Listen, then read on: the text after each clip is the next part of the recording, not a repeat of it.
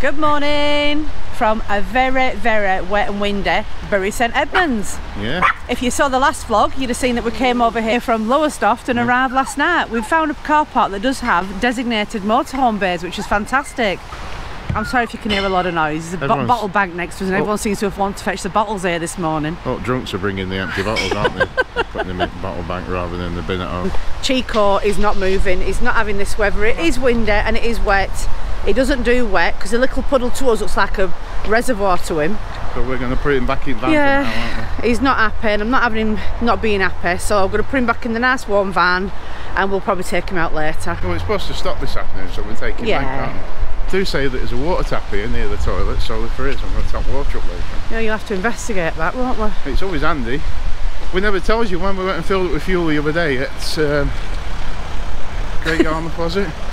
I put, I Uh. put 60 pounds worth of diesel in at the Shell garage and Shell's done me alright and I went to the lady in the kiosk and I just get some water from the motor and she said, oh, I don't know, I don't think so. So, other words, no. so, Right, well the toilet block's here. Did you say it was on the toilet block itself? I don't know, you just said water. So. I don't think that, oh the toilets are open. It probably means water to wash your hands when you've done it. Oh, there it is, yes. Right, Fantastic, does it work? Yeah, So we'll get me a little watering can in a bit and fill it up. Yeah, so this parking place we've got is quite good actually. It's quite central because there's not a lot of things down here that cater for motorhomes, so I'm really pleased to have found that. You'll find it on Search for Sites as well if anyone's interested. It's one pound overnight. And £3 odd all day, isn't Yeah, it? so- so we found it, we found the market, and it's exactly as I thought it would be. Really nice stuff, isn't it? Yeah, yeah, right. What a lovely town, what clean town as well, it's gorgeous. Again with old building meeting new, really, really nice. Look at that one there. I've never seen a stall like that before, have you? Wow, look at that light there. Gee, some smart stuff in there, isn't there? Trombone, is it a trombone?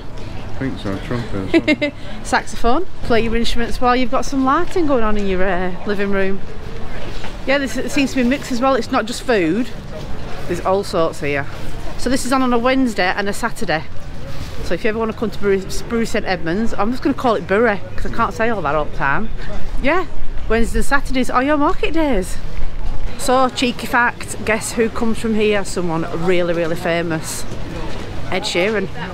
And Griff Rhys Jones comes from here as well, apparently. Or they have a live round here, or I know Ed Sheeran's got a massive thing round here anyway. Massive what? Is it, well, he bought it. He bought a house and he bought the house next to it. Now he's got an Ed Sheeran land or something, a town. All the houses round him. He bought them for family, I think. I don't know. If you know what what, what Ed Sheeran did buy, put it in the comments below. But look at this. There's so much to look at. There's markets everywhere. Just a shame the rain's here, isn't it? Well, you can't blame the rain. You just get on with it, don't you? It's always going to rain in the UK. Oh, look, Mark, cakes. They look nice, don't they? Every single cake you can think of. A young lady, are you doing camera picture? no picture, just go down. You don't have to- being really annoying. I'm in public. I can film where I want. So I don't know if you I don't know if you heard that, but we're just taking a picture of them cakes to show you all, and he's telling me no no pictures, no. Not allowed to film. Not allowed to so- film, but Mm, out in shame, public, yeah. I'm afraid, so I can shame when film. they don't know the UK law, isn't it? Yeah. About filming in, in photo, photography in public, but unfortunately, I'd have said to him, sorry, I'm in public, I can film where I want. Must have something to hide, eh? Right, so we've walked to one end at Swan Street. yeah, yeah. Charity shops are good ladies, very good, but a bit more expensive than what they would Hey, normally at be. this. I didn't expect to see that in Bury St Edmunds. Oh yeah, Mark. What's like that stuff that you wear? Did you want a Christmas present? What is it? what is it? It's like someone's been giving him a thing. What do they call them when they... A wedgie? Yeah, yeah. No, that's a front wedgie. so we found the poshest Wetherspoons we have ever seen. Mm-hmm. Look at that behind us. That's Wetherspoons. Yeah, it's alright, it's fancy. Nice, isn't it? Let's go and have a look what it's like inside then, shall we? Might brighten up then for when we come out. It's supposed to stop raining about two o'clock. The rain is dampening the day, isn't it? It's cold as well. Definitely the poshest Wetherspoons we've been in. It's called the Corn Exchange and it was built on the site of the Old Shambles. Now the Shambles is the name for Old Market um, and it's it's stunning. It's and it costs seven grand. Get that to build. to build seven Cheap grand. labour, that isn't it? All those years ago, man, you wouldn't have been earning much back then, would you?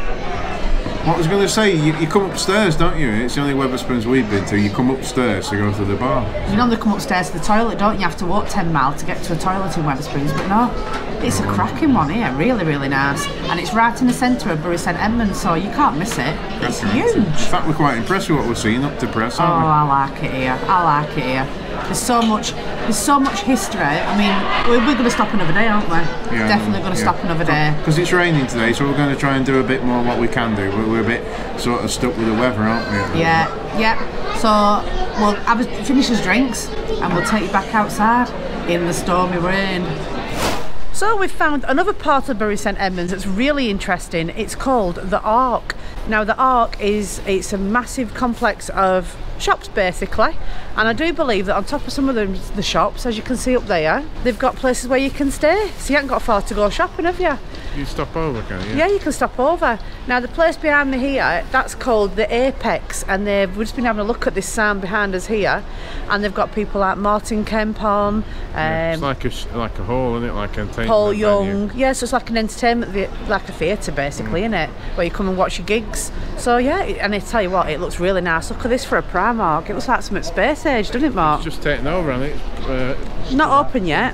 it was Debenhams went it. Yeah. now closed. So. So as you can see, look at that for a Primark. Looks like that's out of a spaceship, doesn't it? Like a sci-fi film. Plenty of shops, plenty of food places. It's all, it's all your normal high street shops, isn't it? Yeah, it's all your branded things in here basically. So any independent ones are all in the main town.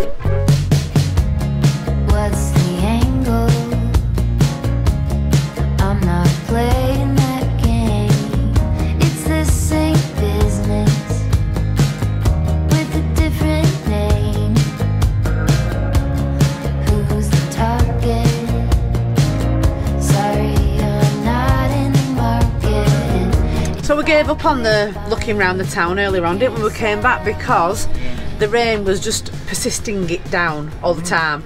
So and apparently it's supposed to be a better day tomorrow. So we came back, just chilled out this afternoon. Mark's done some editing for tomorrow. Videos ready, it's uploading as we speak. and he wanted a Chinese. And what First time ever. But we've looked around at the local Chineses and they're all over seven pound each dish. We don't pay that. It's just far, and we haven't been getting right good ones, have we? No. So a bit disheartened, and I, I didn't want to spend any money getting much as- something. I mean, as much as I like it, I- we've got to draw a line somewhere. Yeah, you've so. got to be careful with your pennies. We went in Wetherspoons today, but we didn't eat, did we? No. We just got a drink. so- Yeah. So I've decided to cook tonight. And he's, he's like, Are you sure you want it? Yeah, of course I want to cook. So I'm making myself some chicken with some sweet and sour sauce. And I'm going to have some rice as well. I've got chips in the air fryer as we speak. Mark's to have shish kebab, doner kebab in pitters. It's going to cost us nout because we already had it all in. So we're having a quid, we're having a freezer dinner, aren't we? I know people slate that kebab, ain't you're free to do so, but you know it's, it's all right actually. If you like it, you like it. so Enjoy what you what like. you're gonna get from kebab shop, isn't it? Because that's where it's come from. So. Yeah, so I'm going to crack on and get this tea. I'll show you what we've cut when we've done it. Well, when I've done it. Chicco's been a nuisance. Chicco's not been too well lately, have you, Cheeks? No, he's had runny run runs, ain't he? You have had some very bad runs for the past few nights. And the, sh- the reason why this sheet's on here, we came back today and he'd done a bit of a poopy, a runny poopy on the sofa. So I've had to wash all the sofa and it's a bit wet. So, not his fault, bless him. Same as having a little kid, isn't it? You alright, Cheeks? You any better? A few moments later. Hold on, how quick was that and how cheap was that? So I've got sweet and sour chicken with boiled rice and Mark's on doner kebab, shawarma kebab and cheesy chips Garlic sauce. and garlic sauce. See, when you root through your cupboards or your fridge, you can always find something to eat. Right, I'm having a bit of Sally salt. Are You want, do you want anything? Just salt and lime, please. And we've lost the charger, haven't we, for Yeah. So the Karcher Windovac, it's died. So we've gone to get find the charger for it, and Mark can't find it. So what have you done with it? I don't know, eating it probably. Hmm. But what I'm going to do is, I've seen on Amazon a USB one what I plug in and I can charge it on a phone charging port. So that's Yeah. so it saves having the inverter on there. So You talk about me losing stuff in here. It's the smallest home we've ever had, and you can still lose stuff in here. It's unbelievable, isn't it? Right, tea time. So we're going to enjoy this, get a film on, put his feet up, and we will catch you in the morning. Good morning. Morning, back in the town. Oh God, I'm well excited. There's another street market on today on Sunday. I don't know whether they're on every Sunday, but there's one on today. Like a craft market or something. isn't Yeah, it? well excited. At least it's a bit sunny and not raining. And yeah, it's, lovely alright. today, and it? we can Yeah. walk round today. Yeah. But we wanted to show you this behind us. It's called the Nutsack. No, it's not. It's called the Nutshell, All right. and it's the smallest pub in Britain, as confirmed by the Guinness Book of Records.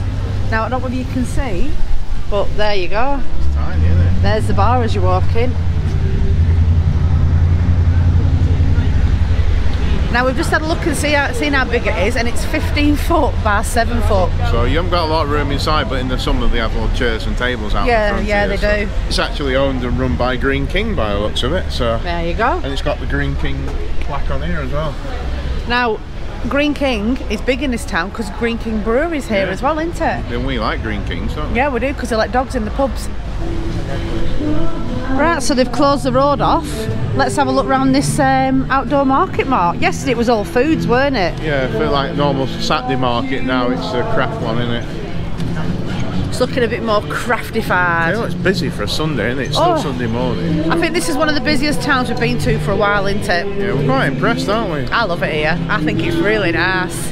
Like I say, a mixture of old and new. I tell you what, there's a lot of Christmas decorations and stuff for sale. It's coming, guys. You can't stop it. Can't believe he's looking at Christmas decorations. What are you doing? Eh? What have you seen? Oh yeah, that's cute, isn't it? We've nowhere to hang it though. Oh yeah, we've seen them before. They're good, aren't they? Ah, all made out of whiskey bottles. That one there, and it's a Yorkshire Yorkshire fella as well, not far from us. Fella Northerner. Just spotted a little chair for Chicco. Look at this. Imagine him sitting at park wheels on there. So we've seen the smallest pub in the UK. Now we're seeing the fanciest Greggs I've ever seen. It's fancy. Look at that. It's fancy smanchy, isn't it? And that building's so old. It used to be a food and wine store back in the day. You, as you remember it. No, I saw it on a picture, and it's they were all in black and white, and they're all wearing aprons. So it was definitely a long time ago. But yeah, look at that for a Greggs. Never seen one like that, have we? Not like as old as that. I mean, it looks nearly as old as you, Lisa. Oh, give it a rest. There's a lot to look at here There in is. Bury, isn't there? Oh, look at that up there. That clock. Is it right? What time is it? Yeah, it's right. Yeah, this is one of the other main streets we, we didn't get to see yesterday. And we're just taking you down to a few more of the uh, historical places in Bury St Edmunds. There's, uh, we found out there is actually a town, isn't it? yes, A market town. we found Could out. have guessed it was a market town when it's full of market stalls, aren't it? Yeah, but it's got a, is it a cathedral or is it a minster? It might be an abbot. Oh, I don't believe you found that. Mean, Hatter Street, Mark. Look what he's found, guys. Ming's Oriental. That's a restaurant, Mark, if I've ever seen one. it's shut as well. It will be short. It's early Sunday morning. Main dishes, look. Oh, yeah. I think it's getting more expensive the more south we go into it. My honest opinion, I don't want to upset people in Suffolk, uh, Norfolk, and East Anglia area, but the, the Chinese was up to press. We've only had two or three, have we? Well, been over this way for the last week, few weeks. Um, not very good, are they? Well, you you know more than about them than I do. Not been brilliant. No, I must admit, not very flavoursome. Is that the word? Flavoursome. Yeah, but it's all right, but not what we're used to. So Not as good as up north. So Mark thought he'd found another one there, but it's a Thai restaurant. But it sounds really funny. The giggling squid. yeah, yeah, giggling squid. Sounds like you'd have a right laughing there, And then it? talk about placing shops over on this other side. You've got Pizza Express, Yeah. Right next to it, you've got and Co. What's Donecore? That's Pizza. pizzas again, isn't it? I know, that's what I'm saying. And you've hardly got any shops closed here. They're all open Oh, and there's nothing boarded thriving. up? No. Not really, no. There's a few what's up for lease or whatever, but not many. And I'd say there's about 12 charity shops, and I've been in every single one of them. Mm. Not got a bargain. And Oxfam's closed down here. Has it? Yeah, permanently closed, it says. But they've got an Oxfam like bookstore, but the clothing bit's gone. Gutted. And it's typical of a town in the UK, and it's got all the regular shops and stuff. So No, I know- think it's higher than typical. Yeah, I yeah. I mean, uh, you, you're getting all your, you, you're getting a lot of independent branded shops, and then you're getting your high street ones as well, aren't you? Yeah, but plus on top of all that, you've got all these historical places to go and visit. Like, we'll go and show you one. There's one right in front of me now that we're coming up to. It looks like a lighthouse, doesn't it? It does, yeah, but there's a story behind it. Uh, there's a story behind everything in this uh, town, actually. It's, there's quite a lot of legends, isn't there? Well, there? there's a lot of history, and then a couple of days at the time we- we've been here, we're not going to be able to show you everything. No, so, but you know. so you must come and visit, definitely. And put it in the comments if we've missed anything, what you think's worth looking at. So if anyone else wants to go and have a look, they can have a look. Yeah. Right. So, like I said, we're on about history. We've just come off that main shopping street there. Look what we've come out to. So, look at this for, stu- for stunning, though. Absolutely gorgeous. That's the Abbey over there, I do believe. Uh-huh. This is called Abbey Gate. So, I presume that's the gatehouse for going into the Abbey. Look at the wall, how old it is. Yeah, the wall behind there. That's unbelievable, isn't it? So this behind us is the oldest or first eliminated street sign and it's called the Pillar of Salt. It's actually got the like, little lighthouse light It on looks top like of it. it. must shine the light back down. I wonder if it onto actually works because we've not been here at night time, know. have we? We don't know whether it works. What? How old is it, Mark? Ni- uh, ni- erected in 1935. Something a bit different, isn't it? What I want to know off you guys is why is it called Pillar of Salt? Because I've read, I've googled it and it's not telling me.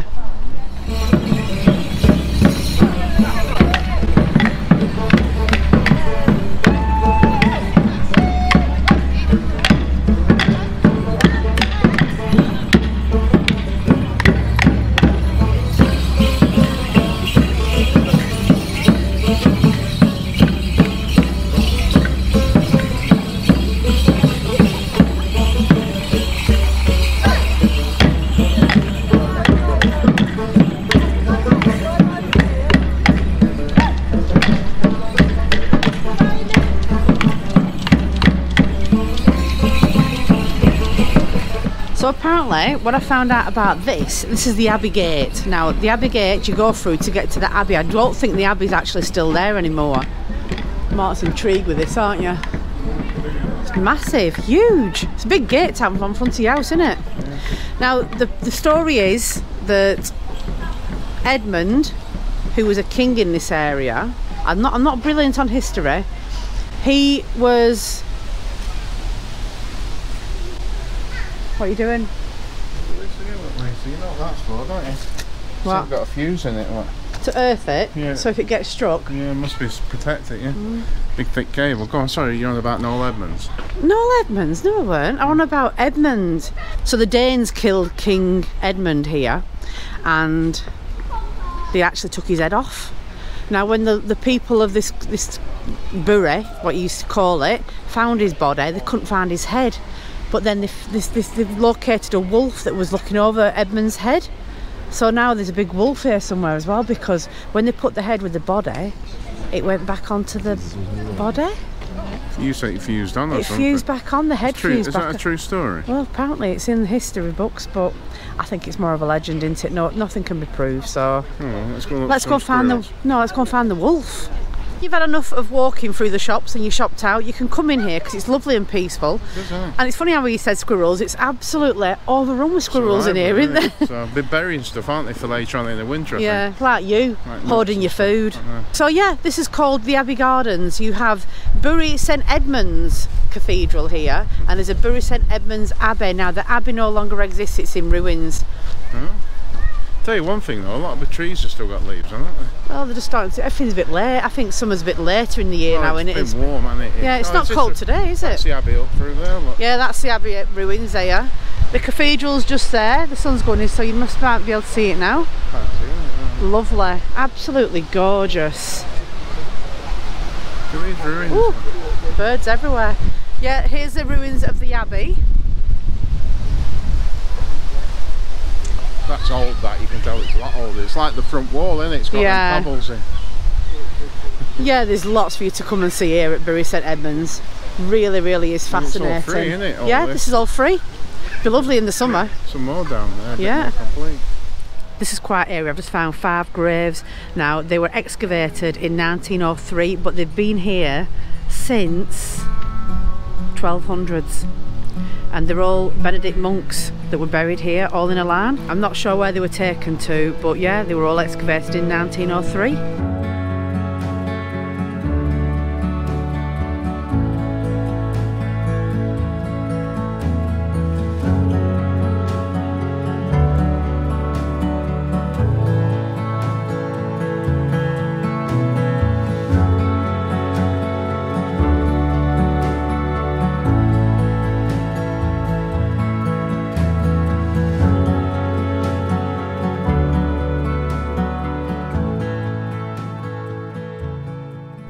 Fish and chips in uh, Bury St Edmunds? Not cheap. Not cheap. Regular thirteen fifty. Wow. God, you can add another 150 onto that. And that's just literally your fish and chips and it, no mushy peas or anything. I'm looking for batter sausage. They might not do it down here. You can get salt and pepper squid. Oh, batter they were playing. Four fifty. Wow. So your fish and chips ain't as cheap either. Fine, no one can see them. But we were looking for um, Chinese last night, weren't we? And they were well expensive. so as, as you saw, yeah, we we made our own tea. And it was rather nice, weren't it? Right.